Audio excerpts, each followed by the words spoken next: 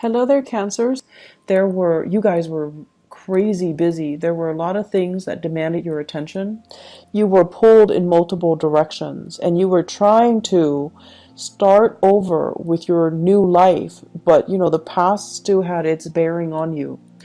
And um, last year, I feel like the energy was very, very heavy. And it wasn't until 2018 where things kind of start to move in the upward trajectory for you guys. Things felt a lot lighter. You were able to, you know, really slam some doors shut and you were able to move away from toxic people and you were able to conserve your energy and do you focus on you focus on the the tangible uh, necessary things that you need to get going in your life and because of it you know i, I want to say like it's not just a, a stroke of luck. It is because many of you had to take these um, difficult decisions or routes in order to get you where you are right now. And it wasn't an easy process. It required a lot of um, just kind of like putting your foot down and telling yourself and telling other people, it is what it is. I need to do what I need to do from from now on. And I need to you know stop going back to past decisions and wavering and and thinking what is and thinking like you know what could I have done differently? Those things just they're they're they're moot points basically. So coming into this year you're a lot more decisive which is something I love to see for you guys you're a lot more decisive like a Scorpio you're a lot more observant too you haven't been there for me, so I'm not going to waste my time with you. But you're not doing it in a harsh, you know, um, manner the way that the, the Scorpio people are doing. You're just going to put somebody on the back burner. If you feel like they haven't been around, if you feel like they haven't been supportive, if you feel like you couldn't change them, you're not wasting your energy on them anymore. You're putting them on the back burner. But the door is still open. If they, they decide to come back then you know you will give it another go. But in the meantime you're not feeding or they're not able to leech off your energy. So your energy is a lot more concentrated. It's a lot more directed.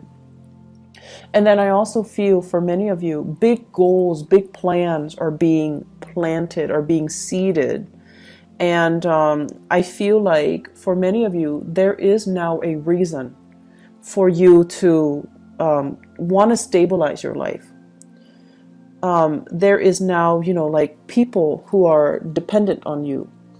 There are now, it's like the right timing. It, it requires meeting a community of people that are like minded, that want the same things, that are working towards the same goal, and everyone's on the same page. Communication is great, and everybody sees the bigger picture. So it, it requires, you know, having to deal with all the BS that was in 2017 having to deal with family issues in 2017, people who are very flaky make promises that they can't keep, and people that um, I, I want to say like very materialistic, very money grubbing, and uh, you know they they took you for granted. For example, you needed to experience all of those things to come into this year and to to meet these like-minded people, for you to realize how natural it can feel or how right it can feel when everyone's on the same page, when everyone is, you know, responsible and they're they're where they're they're supposed to be and no one is like taking advantage of one another. No one is like waiting for the other person to do all the work. Everyone's on the same page and it feels very um right. Okay. So this is what you're experiencing right now. I feel like for many of you, this is like a big deepening of commitment. We have, first of all, the Ace of Cups, and this is um, overflowing emotions, you know, in, in a very positive way, okay? And we have two family cards resting near it. This is building wealth and stability. This is like things that you're saving with a partner. You're building things, you're uh, planning for the future, you're buying property, you're adding new people into the family, you're uh, meeting each other's uh, parents and grandparents. It's a total inclusion coming together, um, blending families, making things work, and all of it is happening under one roof. And this is something that Cancerian people really have always wanted, okay? You could be young, you could be like, you know, a bachelor or bachelorette, but when friends and people you love are all in the same place, it makes you feel really, really good. It makes you feel like that sense of completion in a way where, you know, oh, all the people I love is under one roof. I get to see everybody that I love, and you know, I don't have to travel too far to go see this person or that person. Everybody's here. So when you have that sense of like blending families together, and you know, there are no hostilities between exes and you know, um, ex-husbands, um, stepchildren, um, parents, step-parents, whatever the situation might be with our modern blended families, when everything is, when everyone is accepting and when everyone's under one roof and when there's a lot more stability associated with it, I feel like that's what makes you feel really, really good. It brings a lot of joy and contentment to you. Um, I feel like there is a major, major commitment when it comes to building wealth, uh, linking yourself up with another person in matrimony, for example. Um, having like um, the okay, like me, you might be newly engaged, right? And then you're bringing your fiance home to meet your parents for the first time, or they are bringing you home to meet their parents for the first time or you're bringing a new lover to meet your your children if you have children um, from another marriage. So there is this coming together and sharing and you know nervousness but at the same time everything is working out really really well because people are all there for the right reasons okay? So there's no hostility there's no animosity there's no jealousy. Everyone is there for the right reason. So i feel like because of that you're in a really good space right now emotionally um, I feel as well, this deals with a lot of planning, travel, family planning, um, coming together, medical diagnoses, um, arrangements, I feel, for some medical issues. So, for example, if you have people in your family who are dealing with like health issues, there's going to be a positive prognosis, or there's going to be treatment plans, or there's going to be some resolution as it relates to medical breakthroughs. Okay, so it's like um, taking a specific dose of medicine or doing something that will, you know, allow the the body to naturally recover without major invasive surgery. And I'm also sensing as well, um, I'm almost sensing as well opportunities to build wealth together. And it's sort of like rather than going to a financial institution, this is a card about institutions of lending. Okay, so if you need like a, mo- a, a loan for a car, if you need a loan for a house, if you need a loan to fix the roof, if you need a loan for education, you're going to be getting loans through family members. Everyone is like chipping in to do certain things. So rather than having to, you know, pay a, an exorbitant amount of interest on a loan from a credit union, a bank, or a financial institution, you have some people coming in in the family unit that will loan you the monies and you repay them at a later date. So I feel like it's um, a lot of it is family oriented and a lot of it is you know getting the proper family support for the very first time because now you know like you're you're they're like your first line of defense and you don't have to, you know, go out of the way. So there's a lot more prosperity coming in with family members as well. Um, what I have here is um, this is kind of like the old paradigm. So let me talk about this. This is the first card that came out in this spread, okay? We have here the Page of Pentacles, and um, I don't see this as another person. I feel like this is an energy from the past that you are working through and releasing. It's right on top of the pen, uh, the I'm sorry, the tower in the reverse position. So whatever old ways you've been doing is no longer working.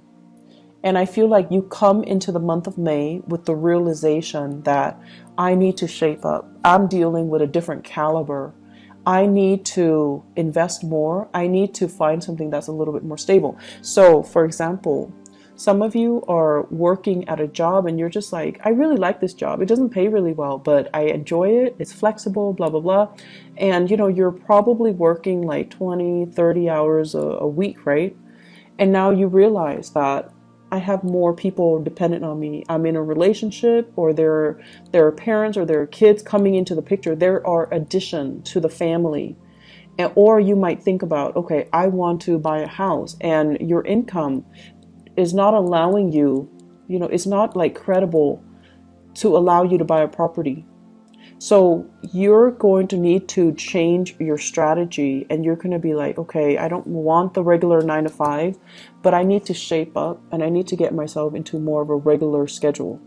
So I feel like, you know, the, the carelessness in and the, the abandonment in which you have been doing things in the past, it's no longer working or you're no longer you don't see the value in it anymore. It might have been fun. It might have been, you know, very um, freedom inducing because you're not trapped in a an office or you don't have a rigid, stable schedule. But now you're starting to see that I want more out of life. I want to build wealth. I want to generate wealth. I want to be able to take care of everybody in my family. I want to be able to, you know, not only take care of them, but to leave a lasting legacy for them, to leave them like a savings account or to leave them, you know, a trust fund, something like that. You're a lot more serious about long term planning, which is really good. And in the past, too, the lack of long term planning the, the, the fact that, you know, many of you might have come from good families where mom and dad always intervened. They always stepped in. Whenever you needed something, a new car because your old car broke down, they were always available.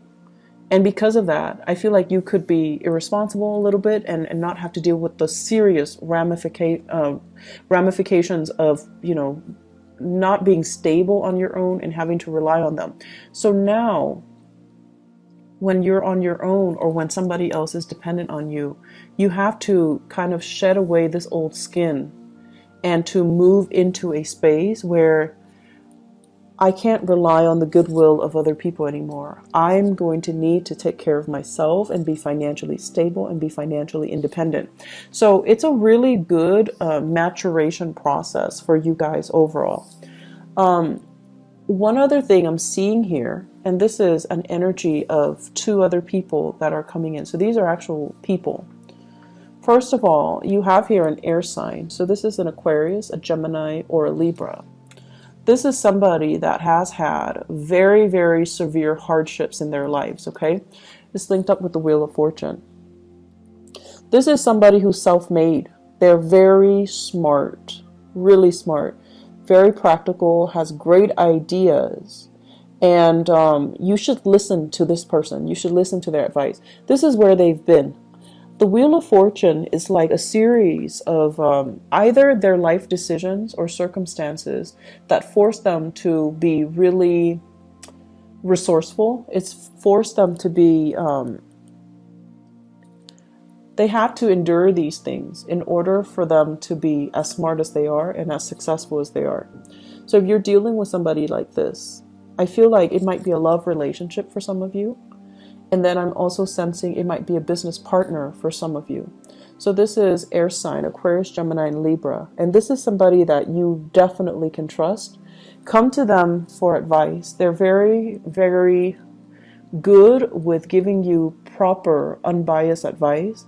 They're also very good at calling you out on your BS. If you're kind of rationalizing or fantasizing about something and it's all a pipe dream, they're going to tell you, you know, you need to shape up or they're going to give you the the honest truth i feel like there is a situation here where the two of you might not have agreed on things in the past but because you really love each other you're trying to compromise you're trying to you know make things work and against all odds this is the month where you're going to have a major resolution with this person and the person is going to allow you an opportunity to create and generate wealth with them.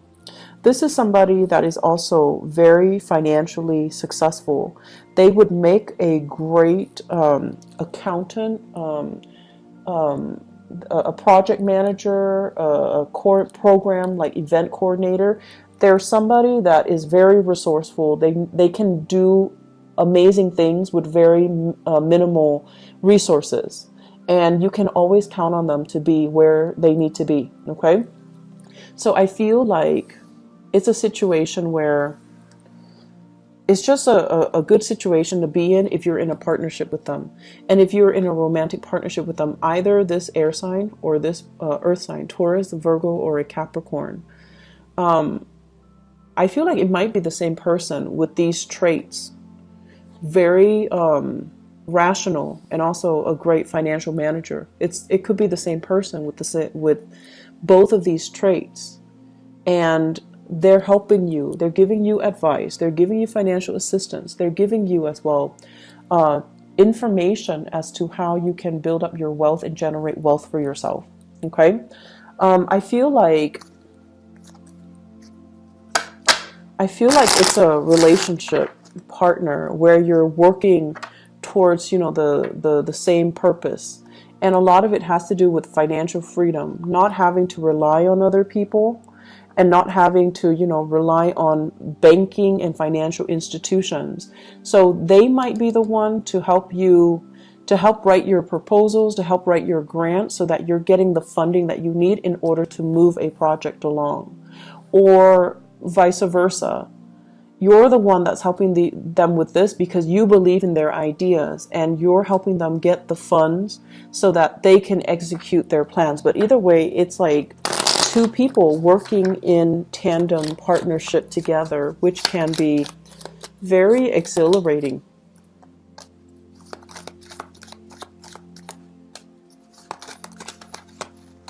Whoops. Let me see. Pull out one more card. Okay. So I pulled out three cards to clarify the Ace of Cups here. First of all, we have here the High Priestess we have here the Six of Swords and we have here the Ten of Swords. And the Ten of Swords with the Ten of Pentacles. This is pretty much the end of a cycle, okay? This is like leaving a family situation in order to start something new because the family situation is no longer working. And we also have as well fears and hesitation and as well as are we really doing this? Are we going back to the past or are we moving on to something new? I feel like for many of you, you're no longer moving back to the past because the person from the past with the high priestess, it's somebody that is manipulative, that can be a little bit like they guilt trip you or they can spin the truth or they lie by omission and they're not telling you the whole story. And I feel from some of you, this energy here could be an earth sign, so Taurus, Virgo, Capricorn, where they are coming in with very little to offer. And I feel like the, the relationship was very distraught, okay? For some of you, this might have been like a, a work partnership that went awry, where you had high hopes for a situation, but the, the situation didn't pan out the way that you'd hoped. And then for some of you, I feel like you might have children with somebody. You might have once upon a time been in a relationship with somebody. And there is new love that's coming in store for you. And you have a new path to move forward. So I feel like many of you, this is like breaking away from old patterns, old habits, old physical restrictions, or even old relationships in order to move on to something new and something that can bring you a lot more emotional gratification, okay?